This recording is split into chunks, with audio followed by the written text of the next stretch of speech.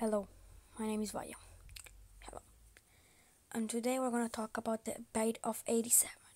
It's a bite, um, and it happened in the game fourth when uh, Foxy, the brother of the little, some is in the mouth of Fazbear, the bunny chicken Freddy, they took um that little kid here in uh, Fre- Freddy's uh, mouth.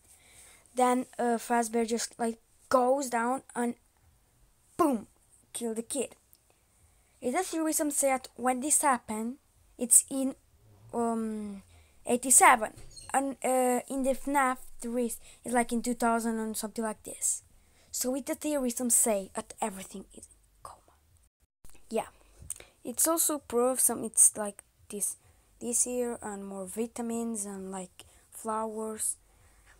That was what I was trying to say. At he says everything coma. Uh, like I, I don't believe on this, but it's a tourism is going on, but everyone knows it's fake now. Uh, I think Scott Cawthon haven't say no, but it's so much people some have think and it still think FNAF is in coma. Yeah, I just want to say bye, like and subscribe for more video of theory on FNAF. Bye.